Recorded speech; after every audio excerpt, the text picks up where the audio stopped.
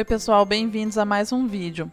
Hoje eu vou mostrar para vocês como é que eu faço bordado na máquina Brother e como eu faço essas letrinhas cursivas com bordinha. Quer aprender? Então vem comigo.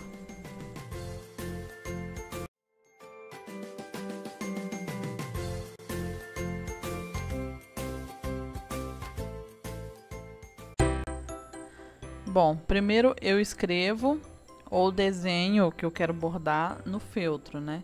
Nesse caso eu vou usar o feltro rosa e eu coloquei uma folha A4 na parte de trás para poder ajudar a deslizar na hora de bordar. Porque eu vou bordar ele com a máquina, com o dentinho da máquina abaixado. E eu escrevo no feltro com essa caneta fantasminha que apaga com calor você tem a opção de apagar o risco dela com a borrachinha, que ela vem na ponta, friccionando, ou com o calor do ferro, do secador de cabelo ou do bico da cola quente, que é o que eu prefiro. Eu vou usar esse pezinho para fazer o bordado e eu abaixei os dentinhos da máquina.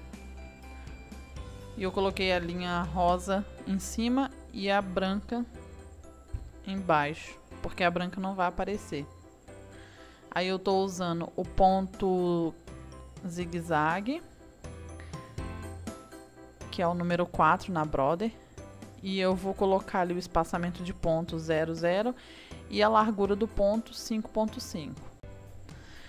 E aí eu posiciono o risco do desenho centralizado na agulha, na direção da agulha. E vou desenhando como se a agulha fosse uma canetinha. Mas eu faço um movimento bem leve, bem lento, para não não sair o risco errado, né? E caso fique assim um, um risquinho meio pulado, aí você volta e preenche para não ficar espaçado. De início parece complicado de fazer, mas é bem simples. Eu aconselho treinar fazendo riscos retos na, no feltro e aí vai treinando preencher os riscos certinhos. E aí depois começa a desenhar letras e vai fazendo até pegar o jeito para fazer certinho. E aí dessa forma dá para preencher desenhos, dá para fazer a barra do, de apliques. Com o feltro mesmo dá para fazer. Você faz os desenhos, cola eles no tecido ou no, no feltro mesmo e aí depois passa essa costura em volta, dando o acabamento de bordado. Fica bem bonito também. E as, essas palavras que eu estou fazendo, eu vou escrever leitura de casa. É para colocar em uma bolsa de professora. E aí eu vou fazer o vídeo ensinando a fazer a bolsa também. E essa bolsa é para uma atividade que a, a professora da minha filha encomendou, que ela todos os dias manda duas crianças levar um livrinho para casa para ler com a família e aí ela coloca nessas bolsas. Aí uma menina e um menino leva, no dia seguinte eles devolvem para ela e aí outras duas crianças levam. Então é uma ideia bem legal, incentiva as crianças a lerem em casa, né? E para não estragar o livro, ela encomendou as bolsas. Eu achei bem bacana essa ideia.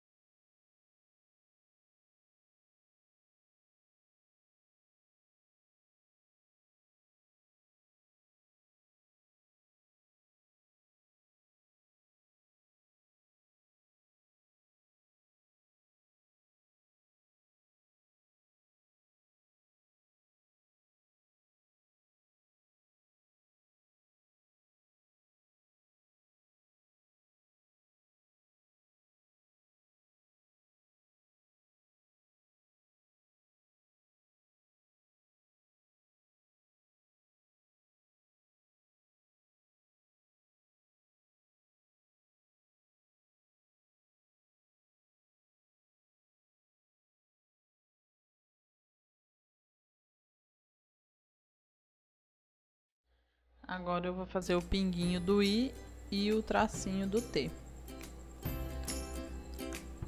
E essas manchinhas da caneta, depois eu vou apagar. Por isso que eu aconselho usar essas canetas, ou a caneta fantasminha, ou o giz de alfaiate, porque aí dá para apagar tranquilamente depois. E essas canetas, quem quiser comprar, eu indico a Lovely Craft, que é a loja da Jéssica Tainara. O link está aí na descrição. E se usar o cupom LC mais Simone, tem desconto nas compras acima de 60 reais. E eu aconselho vocês darem um pulinho na lojinha dela porque tem muita coisa legal, vários tipos de produtos de aviamentos, feltros, tecidos, tem tudo lá. Agora eu vou tirar o papel que ficou atrás e aí puxa com cuidado para não arrebentar nenhum ponto. Mas ele sai facinho. Só ir puxando, olha lá, ele vai saindo. E eu não aconselho fazer sem o papel, tá, pessoal? Porque esse papel, ele vai evitar que a letra fique enrugada. Deixa o tecido enrugado, né? Ela vai dar mais firmeza na costura. E também vai ajudar o tecido ou feltro a deslizar melhor na hora de fazer as curvinhas, de desenhar. Então, façam com o papel.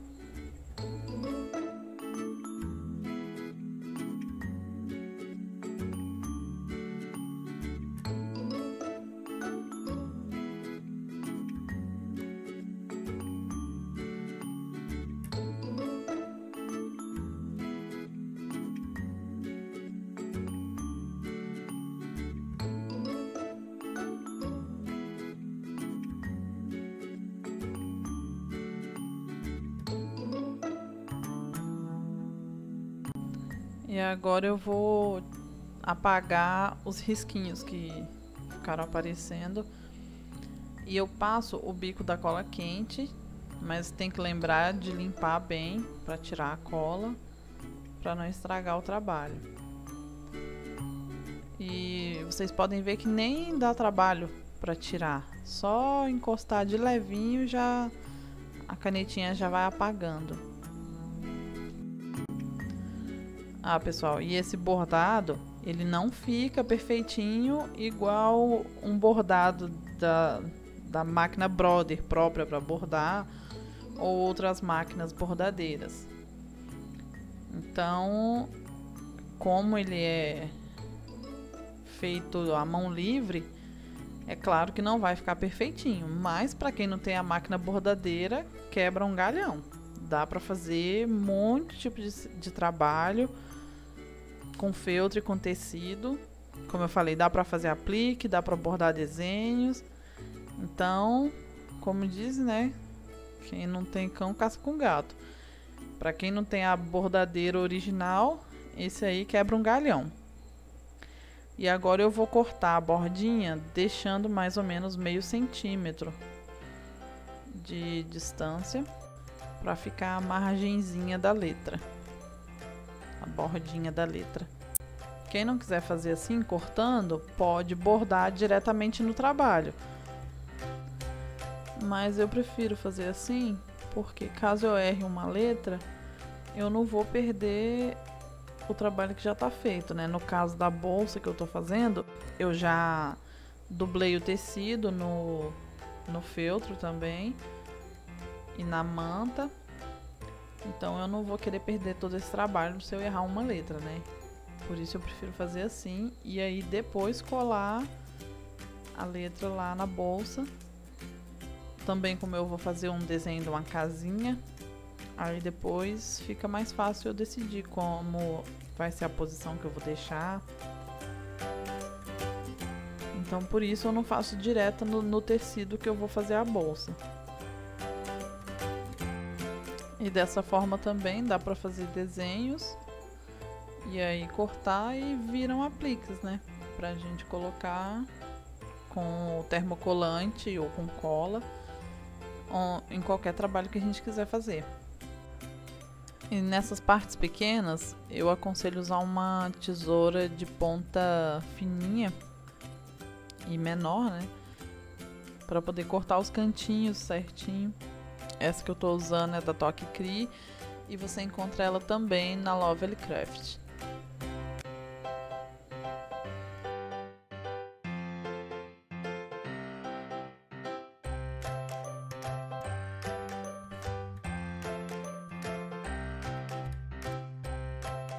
Bom, pessoal, e ficou assim o bordado. Eu espero que tenham gostado. Agradeço quem assistiu até o final. Convido a todos a se inscreverem no canal e peço que deixem um like porque me ajuda bastante. Obrigada desde já. Beijos, tchau.